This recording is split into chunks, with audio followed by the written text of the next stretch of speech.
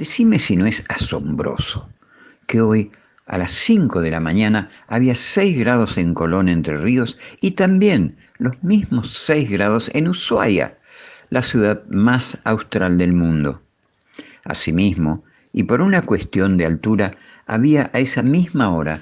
2 grados bajo cero en La Quiaca, la ciudad más norteña de la Argentina, confirmando una vez más que nunca se sabe para qué lado va a saltar el gato. Más allá de eso, la vista desde el Olimpo nos muestra un cuadro surrealista de un pintor que se bandeó con la caña,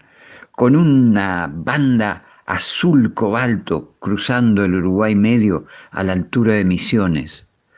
Otro nuberío menos definido empollando el río de la Plata y alrededores. De vuelta en Colón y con esos 6 grados que te decía, eh, bien podemos llegar a 13 grados a media tarde, con un temprano chubasco poco probable, diría, debido a la alta presión de 1021 milibares. Tendremos sí atisbos de sol durante el día que brillará con su moderado nivel 3 de su índice ultravioleta. El porcentaje de humedad del 63% será acompañado por una suave brisa del sur a 13 km por hora. El río ha dado un brinco de más de un metro en los primeros puertos desde el Soberbio hasta Garruchos,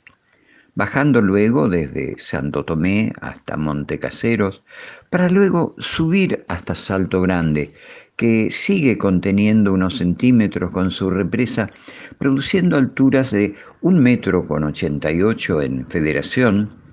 34 metros 02 en su lago, 6 metros con 26 en Concordia,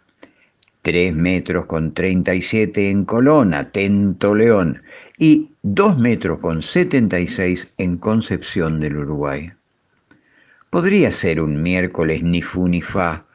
pero toma nota de esas bendiciones que te codean suavemente, alzando tu espíritu a niveles felices que festejen tu alegría de vivir.